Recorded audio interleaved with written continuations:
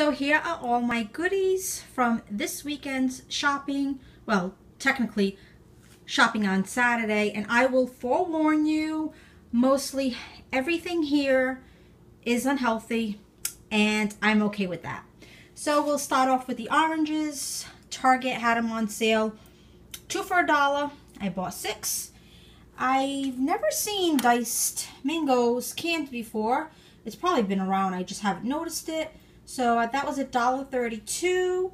And then we got some yummy chocolates. This one is caramel apple. And that one is triple chocolate. I don't even think these were sale. I just got them because they're fall. And who doesn't like a good fall candy? And then I also went specifically for the apple pie. The cookie itself is actually graham. And they have cookie butter out.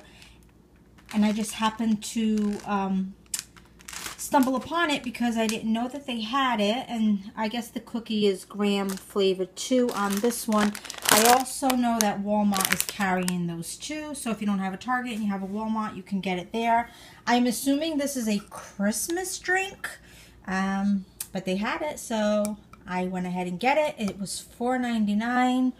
I think the oatmeal was $2.50.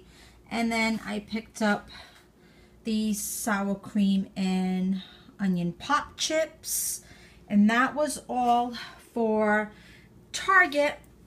And then at Office Depot or Office Max, they run this like every few weeks. And I always try to get it. They do the double A and the triple A.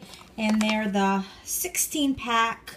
And basically is you get 100% back in rewards totaling $14.98. Now they sell them for $14.99 so you actually end up paying a penny for each pack. I got two double A's this time because I needed those more than triple A's, but usually I get one of each and like within a few weeks they put the rewards onto your account and then you can just go back into the store and spend it however you would like. I usually put it towards my ink and then I stopped at Joann Fabrics. They sell these for a dollar. I mean it's not the greatest lotion but it fits nicely in like the holder that I have on my desk so I always pick one up every season and this one is Pumpkin Harvest and I had a 30% off coupon so I paid like 73 cents for this. I think including tax.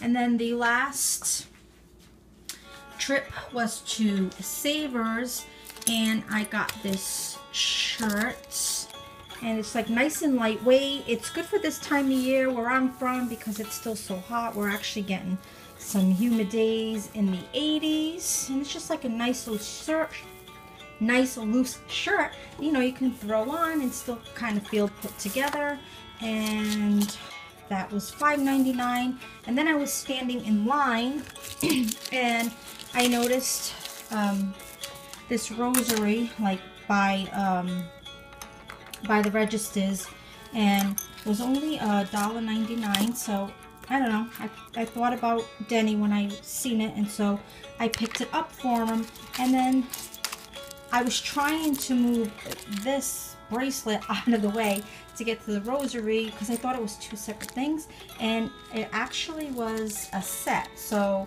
that I think that's really pretty and for $1.99 for both I mean that's just great. So yep that is what I hold this weekend. We also stopped at a new place that is popping up in surrounding areas around me. It's called Smash Burger.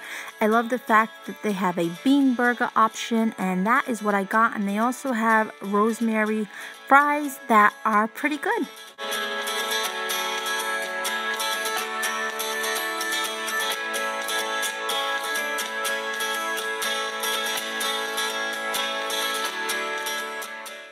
And on Sunday, we took the family and went apple picking. I've actually never gone apple picking, but it was definitely way too hot to do this activity.